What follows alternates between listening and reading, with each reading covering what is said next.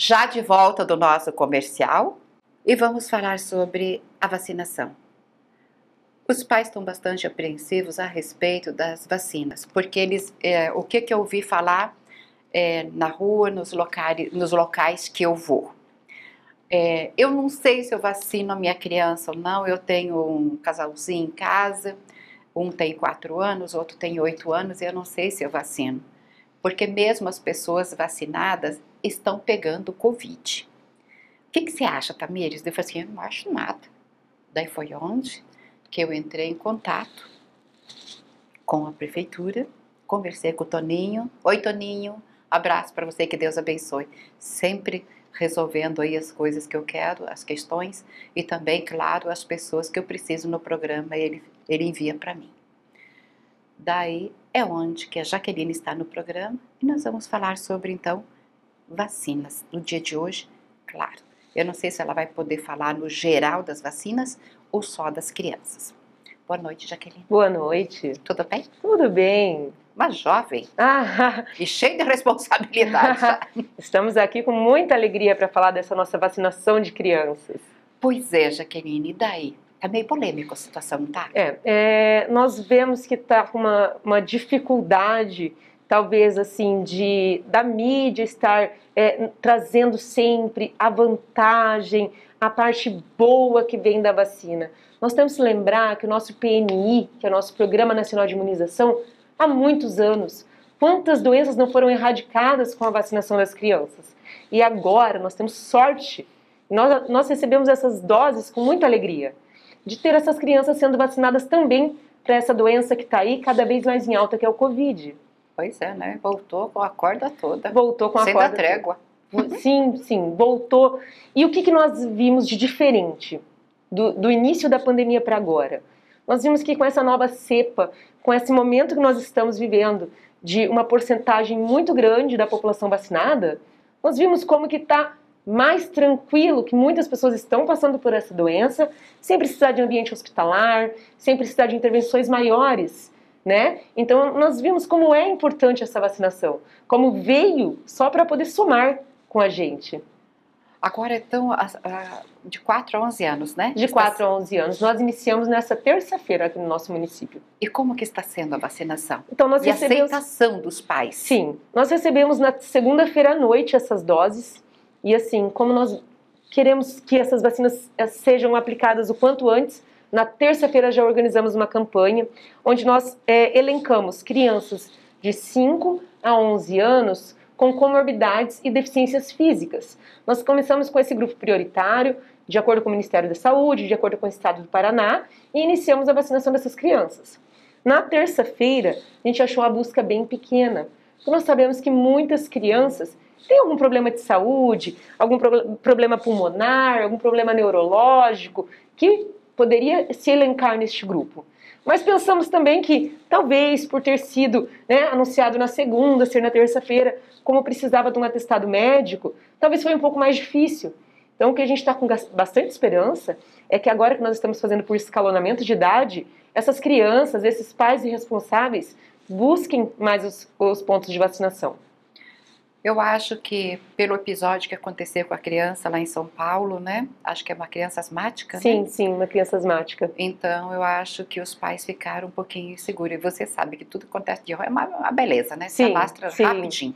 É, já estava difícil, né? É. Aí, aí vem mais esse episódio, né? É, eu li sobre, nós vimos que a criança ela já tinha um problema de saúde. Não sabemos que se foi pela vacina, não tem nada certo ainda. Então nós temos que assim, é, nós, quantas vacinas foram feitas em crianças nesses dias? Não se aconteceu nada. Então qualquer medicação que nós formos tomar, a gente corre um risco. Se nós formos ler bula de medicamento, a gente não toma É verdade. né? Porque assim, todos têm risco. Mas assim, a parte boa é muito maior. A proteção que isso vai trazer para nossas crianças, a tranquilidade com que a gente pode dormir, a tranquilidade com que a gente pode circular, essas crianças voltando às aulas agora em fevereiro, é muito maior. Verdade.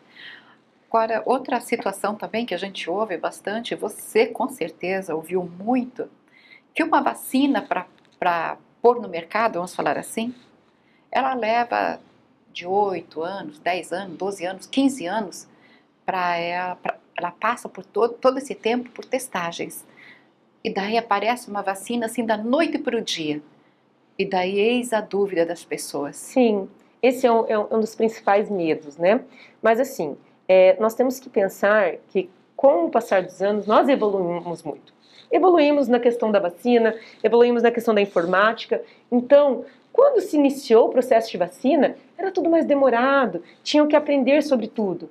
Hoje nós temos muita, muitas vacinas para vírus. Então, assim, nós temos uma receitinha de bolo. Lógico que não são, elas não são iguais, mas elas já têm uma forma de estudo diferente. Pode ter certeza que a Anvisa não iria aprovar uma vacina para o nosso país em que não fosse seguro aplicar nas nossas crianças, que as vantagens não fossem muito maior do que alguma desvantagem. É verdade. Outra situação também que eu vi ontem é, vocês não acreditam, mas a mesma vacina de adulto é das crianças. É verdade? Não. Não e é. Nós temos a, a, a, Pfizer, que é a vacina que está sendo aplicada nas crianças. Nós temos também a vacina Pfizer de adulto, mas são frascos diferentes, cores diferentes para a gente não confundir.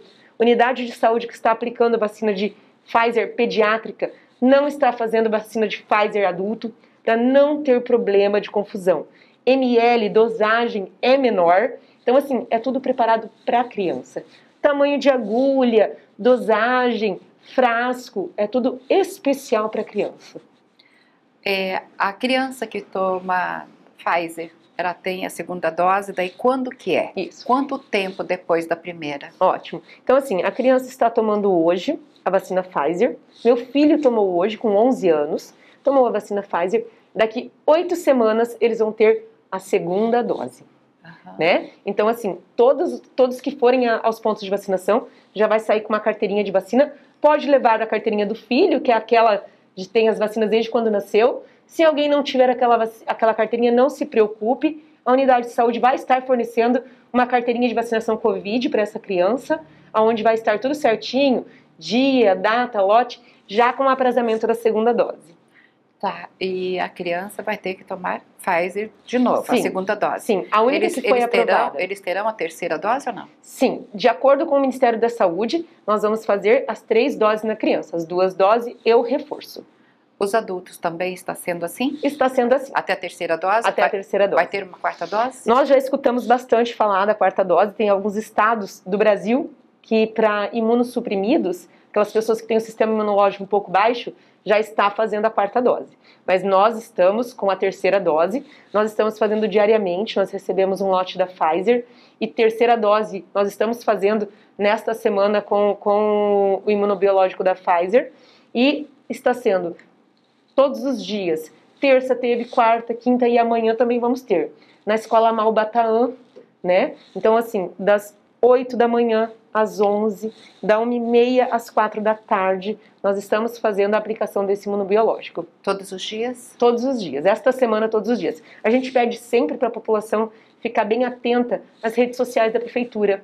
Sempre é lançada, até o horário do almoço, quais são os imunizantes que vamos ter disponíveis, porque a gente não sabe como vai ser a procura no dia, se vai sobrar doses para o outro dia. Então, as, todos os dias a gente programa, a prefeitura faz essa publicação das doses que vai ser feita no dia subsequente. É, eu, eu tenho observado, quando eu faço minha caminhada de manhã, que tem filas enormes nos colégios. Sim. Principalmente no, no, no Balbatã. É, né? É, foi terça-feira, foi que nós ficamos um, um tempinho sem receber doses do Estado. Então, como nós ficamos um tempinho sem receber doses, o que, que acontece? Junta-se várias pessoas de vários dias. Por isso que na terça-feira deu um tanto elevado. Era no, no, posto de saúde do Centro de Saúde Escola e no Malbataan. Então, nós vacinamos 3.700 pessoas só na terça-feira. Aí ontem já foi mais tranquilo, em torno de mil doses. Hoje também vai ser mais ou menos mil doses. Então, aí a gente já não tem mais uma fila. Então, nós já estamos fazendo dois pontos de vacinação, a maioria dos dias, quando a gente sabe que tem um número alto, para evitar essas filas. Mas com os adultos é muito tranquilo, funciona muito rápido. A fila tem bastante gente sempre trabalhando. Então, o, o, adulto, você chega, virou o bracinho, já aplica. Diferente das crianças, que nós estamos com um olhar totalmente diferente. totalmente especial, para ver se eles não esperam muito tempo nas filas. Abrimos três unidades de saúde, que a gente não pode esquecer. Vacina de criança tem que ser realizado dentro de sala de vacina, em um ambiente acolhedor para ela. É diferente. Onde, sim, sim, assim, para ela não se sentir exposta. Criança muitas vezes chora, sim. tem um certo medo. Então, as unidades de saúde que estão fazendo essa vacinação, que é a unidade de saúde do Jardim Cruzeiro, do San Remo e do Bem-Estar, ela está só para vacina Covid. Não está fazendo as rotinas. As rotinas nós estamos enviando os pacientes para as unidades próximas. Agora, você não tem ideia mais ou menos quantas crianças já foram vacinadas? Sim, então? sim, tenho sim. Fizemos o levantamento, estava fazendo um levantamento com o Antônio hoje. Já foram em torno de 350 crianças. Agora elas estão vacinando até as quatro, nós tínhamos uma parcial até de manhã. Agora, no final da tarde, nós vamos ter mais uma parcial. Vamos falar assim, crianças especiais, né? Assim, que tem é, alguma... Nós, isso, nós, na, nas crianças da terça-feira, que foram essas crianças com comorbidades, e deficiência, nós vacinamos 40 crianças. Agora, quarta-feira quarta e hoje, nós já estamos vacinando por idade. Na quarta, nós já vacinamos as crianças com 11 anos, hoje nós já estamos com 10 anos e amanhã já abriremos para 9 anos. Crianças sem comorbidades nenhuma. Então, começo da semana já está já tá liberado para as crianças que não, que não tenha nenhum problema. Sim, já estamos fazendo nessas crianças. Uhum. É, Houve, houve muita polêmica no começo das vacinas, né? Não sei se você acompanhou tudo. Eu não entendi até hoje por que, que a, a, a pessoa ia aplicar vacina na, né? É, na, na, na, pessoa, vamos falar assim, uma enfermeira ia aplicar vacina numa pessoa e não vacinava. Você conseguiria me explicar isso? Por quê? Assim, ó, nós, nós, nós sabemos. Houve tanta polêmica, foi, né? Foram gente? muitas polêmicas, muitos vídeos, muitas coisas levantadas. As pessoas já estavam filmando. Já estavam quando... filmando, queriam ver. Então, assim, nós já, como protocolo, depois desses problemas que, que, que, que apareceram, a gente já mostrava a seringa antes com a dose, já para poder nos, nos precaver. Um trabalho a mais. Sim. Olha, aqui está sua dose de meio ml, de 0,3 ml, dependendo do imunizante nós aplicávamos e mostrávamos, ó, está sem nada. Então, assim, pode acontecer? Pode. Assim, todo mundo é passível de erro. E nós trabalhamos com seringas, com agulhas, aonde pode ter algum problema ali. Existem algumas seringas e agulhas que vêm acopladas já. Isso. Quando você aspira, que você vai puxar o líquido, talvez a pessoa ali correndo, fila de mil pessoas, e assim, é, é, com a vontade com, né, de estar tá vacinando um maior número de pessoas, você aspira e aspirar. Como o líquido muitas vezes é transparente, porque se ela não estiver acoplada, isso é um erro de fábrica, um problema de fábrica. Se não estiver acoplada direito, você pode puxar em ar e não aspirar o líquido. Aí a pessoa vai, hum, cadê a vacina? Então, assim, é um erro sim, mas é uma falha tanto humana quanto uma falha do instrumento que a gente está trabalhando, mas a gente tenta, depois desses acontecidos, acho que as pessoas estão com esse cuidado, esse olhar voltado para esse cuidado maior. Verdade. Eu não sei se você leu também a respeito do nosso ministro Lewandowski, do Sistema Tribunal Federal, é, a respeito das vacinas. Por quê? Porque quando saiu já a, as notícias de vacinação, aí, né, a notícia de vacinação das crianças, é, daí já muita gente falou assim, olha, é, só vai entrar no colégio se tiver a carteirinha de vacinação, senão não entra. Então foram muitas situações. Foi onde que o presidente Bolsonaro entrou em contato com o ministro e conversaram e que isso não é verdade. Que não passa a ser obrigatório o pai ter que né, levar seu filho para vacinar. Vamos falar um pouquinho a respeito disso. O que, que você sabe? É, nós sabemos que assim, as vacinas do calendário básico infantil, elas são o direito da criança, né, através do ECA, né? Então ela é um direito da criança. Então, visto isso, nós entendemos que as escolas realmente pedem todo o começo de ano a carteirinha de vacinação atualizada. Os pais sempre buscam as unidades de saúde para pegar essa documentação que está atualizada, que não falta vacina. Porém, sobre a vacina do Covid ainda não é algo obrigatório. É, foi levantado mesmo, existe a fala do presidente, existe a fala mesmo oficial em que, por enquanto, ela não é obrigatória. Mas lembrando, pais responsáveis, né, da importância de estar vacinando seu filho. É porque, como ministro, que ele é do Supremo Tribunal Federal, porque foi ele que falou da vacinação infantil, né? E depois as pessoas distorceram, acho que um pouquinho as, as notícias, né? Porque às vezes a mídia, para ajudar, ela acaba complicando, complicando, um pouco, né? Isso. Leva para o lado bem político. Sim, sim, é, é, é, essa parte que dificulta um pouco. É. Essa, essa, essa, briga política por vacina não vacina. Às vezes ajudar acaba, atrapalha. Isso, acaba atrapalhando, piorando, né? A gente vê assim a, a necessidade, a gente vê os estudos, a gente vê os países próximos, né? Vários países que já iniciaram a vacinação das crianças, é, Estados Unidos já, já, já vacinou. Então nós temos assim, nós temos outros países que a gente pode se espelhar e ver que, que valeu a pena, né? Então nós temos que lembrar assim sempre que diminuição de internamento. Olha nosso Moarama, que, que alegria! Mesmo tendo um grande número de casos, a gente não tem quase internamento, né? E isso devido ao quê? A proteção, a, que a vacina nos trouxe, né? Essa piora que a gente não tem. Verdade. Então isso daí eu acho que é uma parte que a gente tem que pegar e, e tomar como exemplo. Verdade. Quando começou a vacinação, né? Vamos falar dos adultos é, tomaram a primeira dose, mas eles mesmo com a primeira dose estavam sendo contaminados, internados, entubados, uns falecendo, e daí as pessoas não voltaram para a segunda dose, de medo.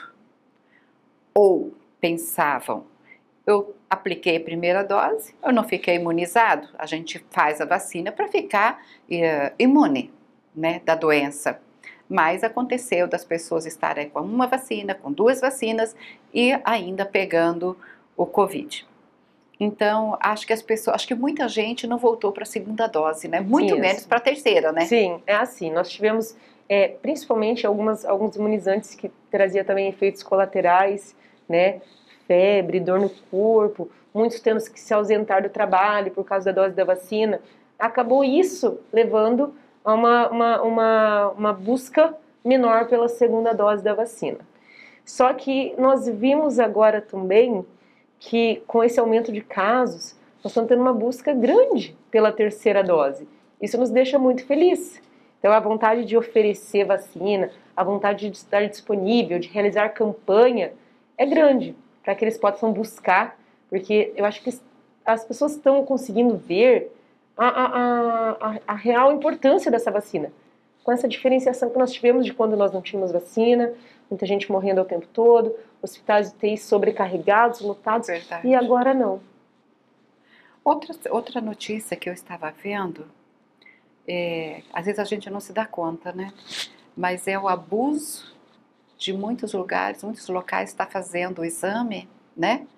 É, do Covid que era acho que 80 reais no começo, já me falaram que tá em, tem lugar que está 400 e pouco. Isso daí. Até a, o PROCON de Curitiba, né, foi essa, eu vi essa notícia rapidamente, e ela falando que tem que haver uma investigação severa, porque tem muitas farmácias e laboratórios abusando nos valores. Então né? tem que pesquisar. Tem que né? pesquisar, tem que ver isso, porque ela falou assim, até de receber gratuito, gratuito em casa o seu kit, né? Para você ver se está ou não está.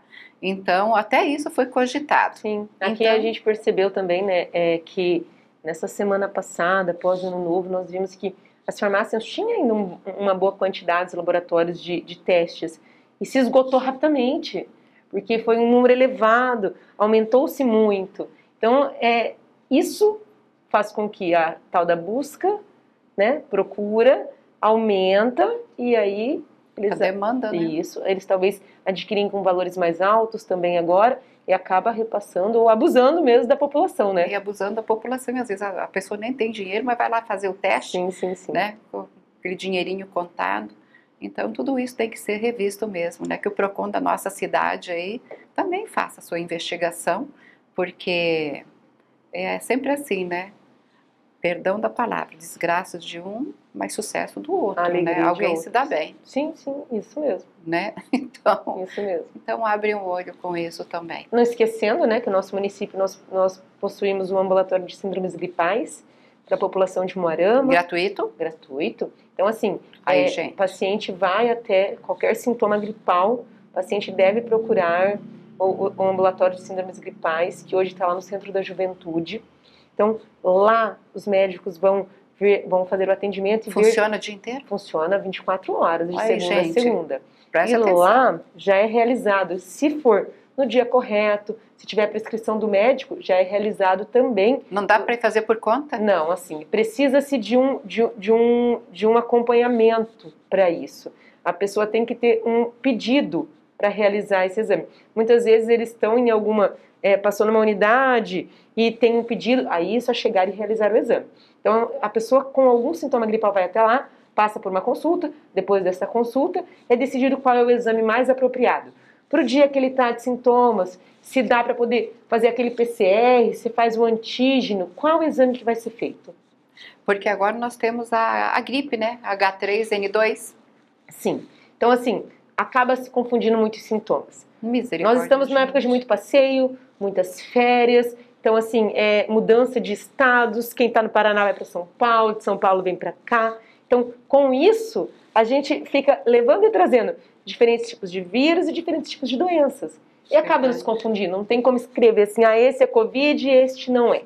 Né? Por- porque mesmo a gripe, é, a minha filha pegou. É uma. Não é gripe, mas deu uma tosse assim severa, muito severa. E de, de ter que procurar mesmo um médico, um pneumologista e fazer um tratamento. Tudo passou. Mas ela ficou assim uns 15 dias.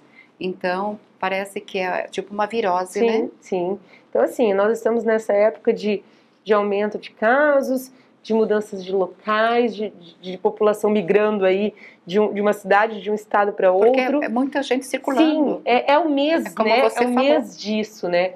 Então, assim, nós temos que, qualquer sintoma gripal, vamos procurar um médico, vamos, vamos procurar fazer um Não exame, esperar, né? não esperar, porque assim, se for um Covid, pode não ser.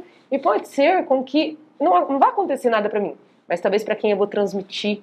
Então esse é o cuidado. Ah, vamos se isolar em casa. Fui fazer uma viagem, voltei. Vamos ficar uns 4, 5 dias em casa? Pra gente tenta voltar um pouquinho antes de acabar as férias, pra gente ficar uns dias em casa. Se aparecer alguns sintomas, você sabe, poxa, não tive contato com ninguém. Isso é, uma, isso, é uma dica importante. Claro. É. Agora era, é de se esperar, né? É de se Final esperar. de ano, muitas festas. Porque quantas pessoas deu uma acalmada no Covid viajaram? É, As pessoas Né? estavam, estavam né, é, Viajado, viajando, era o sonho da viagem. Isso.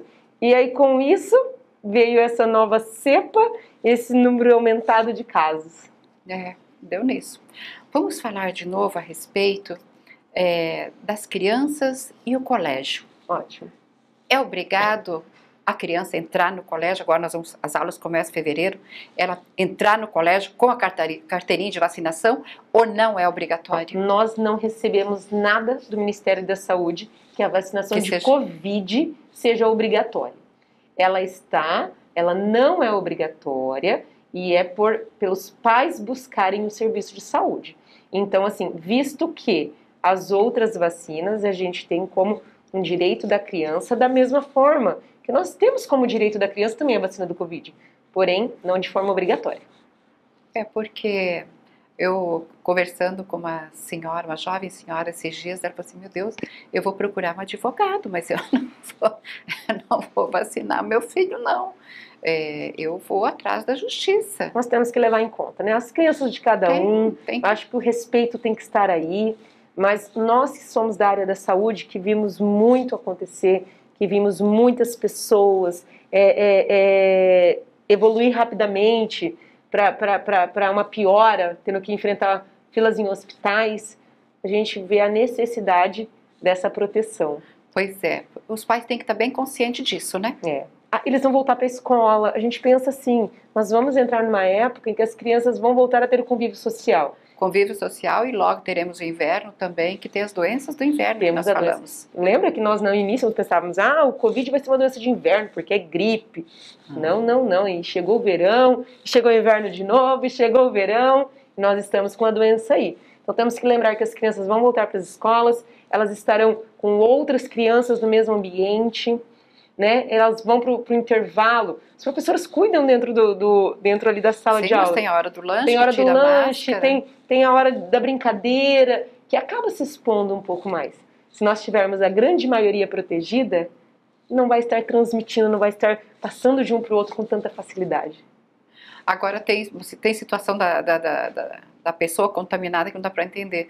Às vezes uma pessoa está contaminada dentro de casa, se estão em oito dentro de casa e só uma pessoa só. tem e não passa para os outros. O sistema imunológico ele é assim, fantástico, bom. né? Ele é fantástico, né? Como ele a consegue... imunidade boa. A imunidade, quem está vacinado. Então assim, o risco é menor de se pegar.